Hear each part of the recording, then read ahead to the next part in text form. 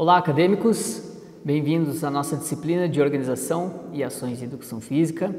Eu sou o professor Cláudio Shigeki Suzuki, do Departamento de Educação Física aqui da Unicentro, e terei o prazer de trabalhar junto com vocês na condução dessa disciplina. Ela tem como ementa a elaboração e gestão de projetos, programas em eventos na área de Educação Física Escolar, prática pedagógica orientada, observação dirigida e experiências de ensino. Esta é a nossa ementa.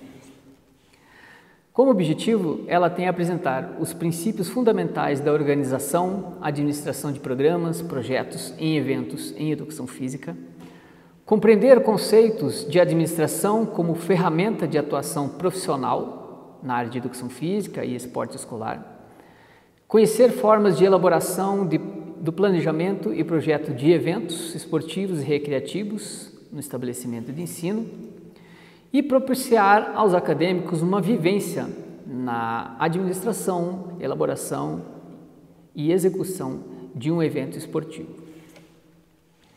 Inicialmente no programa nós vamos abordar um pouco da questão da interdisciplinaridade, que é uma forma de nós encararmos essa nossa realidade no ambiente escolar e, nesse caso, na elaboração de um projeto de evento, de tal forma em que cada integrante desse processo entenda o seu papel e trabalhe de uma forma harmoniosa.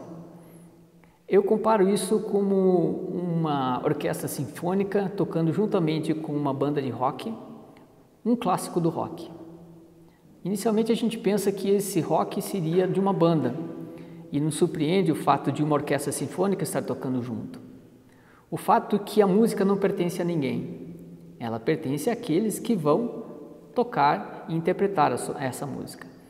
Da mesma forma que conceitos da administração não pertencem só a um administrador, pertence também àqueles que vão participar do processo de elaboração de um projeto. E nesse caso, a nossa ideia é trabalharmos em harmonia e tocarmos essa melodia juntos, de tal forma que busquemos os melhores resultados ao final desse processo. Então, em seguida a esse processo de, de interpretação do que seria interdisciplinaridade, nós vamos ter algumas noções de administração, que serão fundamentais para que possamos elaborar o nosso projeto e entender qual é o papel e função de cada um do que vai participar dessa elaboração. Quais seriam as responsabilidades e quais ações esse sujeito e esses grupos e terão que ter para buscar um sucesso na elaboração e na execução do evento. Em seguida, nós vamos abordar um pouco da questão da ética profissional e as funções na organização do esporte escolar, para enfim trabalharmos de fato a administração de um evento, o qual essa disciplina será responsável por organizar, planejar e executar.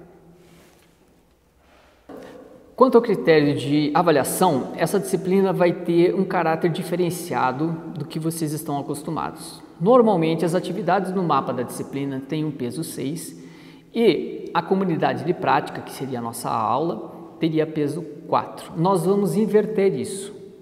Todo o processo de elaboração do projeto de, do evento, todo o processo de construção, de regulamentação, e todas as providências necessárias para realizar esse evento, que será realizado na comunidade de prática, vão ter um peso 6.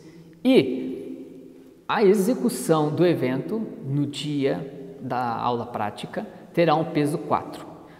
Achamos isso por bem porque é o trabalho de preparação de, desse evento ele vai envolver muito mais trabalho do que a própria execução no dia. Então, por isso, ah, estejam atentos às comissões que serão formadas, às responsabilidades de cada uma delas e também a obrigação de estar no dia da comunidade de prática para a realização do evento. Ela vai ter então um peso 4. Então, apresentada essa disciplina, nós contamos com a colaboração de vocês, estaremos juntamente com os tutores orientando a cada um de vocês, acadêmicos, na interpretação dos conteúdos dessa disciplina, no desenvolvimento deles e na elaboração e execução do nosso evento, que acredito será um sucesso em cada um dos polos. Obrigado.